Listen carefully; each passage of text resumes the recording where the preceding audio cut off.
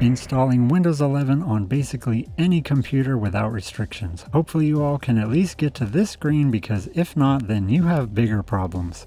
Choose which product you want to install and then you're all here because you are stuck on this screen. So hit Shift F10 to open command prompt, type in regedit, then hit enter to open the registry editor and then we're going to navigate to this location that is computer H key local machine system setup. You can use the backslash to navigate the drop-down menus to get there faster, or you can just type it in. Once you're there, right-click on Setup and create a new key. We're going to name this key lab config. In this lab config key, we're going to be creating three new dword values, and the first one we're going to create is called bypass TPM check. And we're also going to set this hexadecimal value to 1 and click enter. Next, we're going to create another dword value.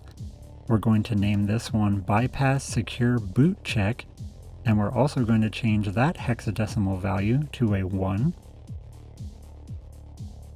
And the third and final dword value we're going to create is called bypass RAM check.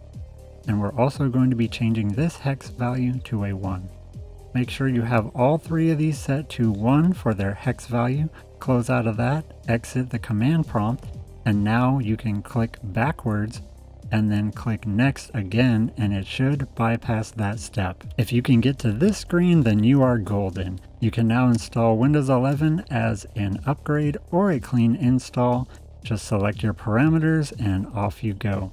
I hope this helped you and thank you guys so much for watching. I will see you in the next one.